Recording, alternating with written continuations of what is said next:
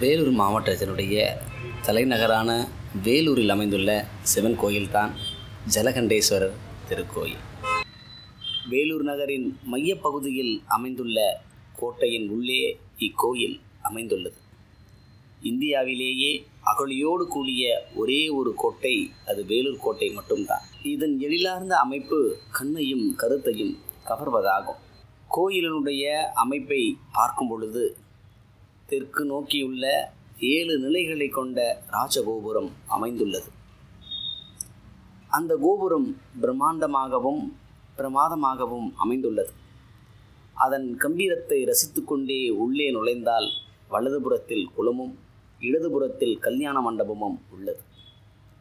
கல்யாண மண்டப தூண்கள் மற்றும் கோயிலின் மற்ற தூண்களில் கண் கவரும் ஆன்மீக சிற்பங்கள் செதுக்கப்பட்டுள்ளன. கோயிலின் வெளிப்பிரகாரத்திலும் உள்பிரகாரத்திலும் கோயில் சுவர்களை ஒட்டி ஆறு அடி அகலத்திற்கு அழகிய வேலைப்பாடுகள் கொண்ட தூணை கொண்டு கட்டப்பட்ட மண்டபம் முழு நீளத்திற்கும் அமைந்துள்ளது. கோயிலின் வடமேற்கில் வசந்த மண்டபத்தையும் அதை ஒட்டி கிணற்றையும் வடகிழக்கில் வெளிப்பிரகார யாகசாலையும் அடுத்து தென்கிழக்கில் உற்சவ மண்டபத்தையும் வெளிப்பிரகார மடப்பள்ளியையும் காணலாம். உள்ளே நுழையும் பொழுது வளம்புரி விநாயகர் அமர்ந்திருப்பதை காணலாம். வளம்புரி விநாயகரை தொடர்ந்து தரிசித்து மேலே சென்றால் கோயிலின் நிர்வாக அலுவலகம் உள்ளது. இதனைத் தொடர்ந்து உட்பிரகார மடப்பள்ளி உள்ளது. அடுத்து அறுபத்தி மூன்று நாயன்மார்கள் பிள்ளையார் சப்தகன்னியர் வீரபத்திரர் ஆகியோர் உள்ளனர். இரண்டு பிரகாரங்களை வலம் வந்து மூன்றாம் பிரகாரமான மகாதேவர் சன்னதிக்கு நுழையும் பொழுது நடராஜர் சன்னதி உள்ளது.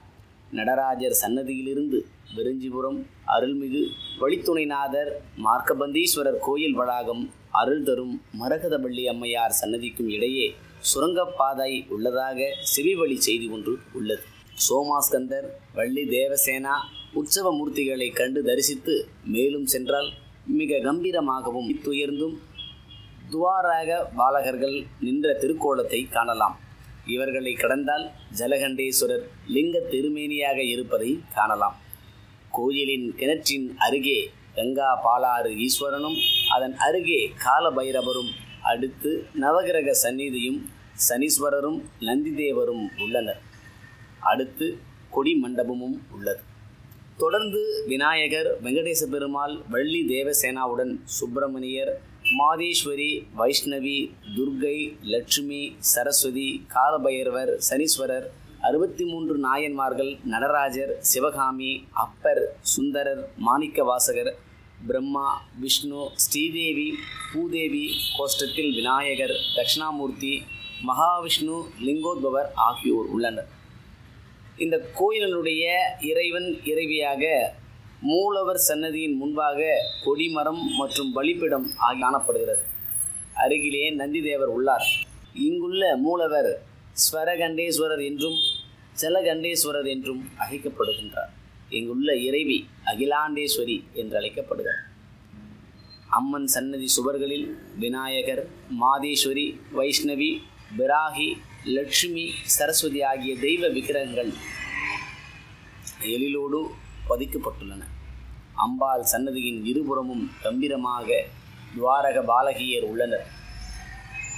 அம்பாள் சன்னதியின் எதிரே ஆயிரத்தி தொள்ளாயிரத்தி எண்பத்தி ஓராம் ஆண்டு மயிலை குருஜி அவர்களால் துவக்கி வைக்கப்பட்ட நவசக்தி ஜோதி என்னும் நந்தா விளக்குகள் உள்ளன. அம்மன் சன்னதி சுற்றி கோடி தூபம் என்ற இலக்கை நோக்கி தீபகங்கள் ஏற்றப்படுகின்றன.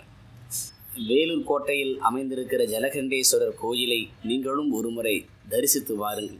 வேலூர் பல எண்ணற்ற வரலாற்று நிகழ்வுகளை உள்ளடக்கியது. இதே போன்று எண்ணற்ற வீடியோக்கள் உங்களுக்காக காத்திருக்கிறது. நமது சேனலை இதுவரை சப்ஸ்கிரைப் செய்யாதவர்கள் சப்ஸ்கிரைப் செய்து கொள்ளுங்கள். உடனே அந்த பெல் ஐக்கானையும் கிளிக் செய்து கொள்ளுங்கள். நன்றி வணக்கம்.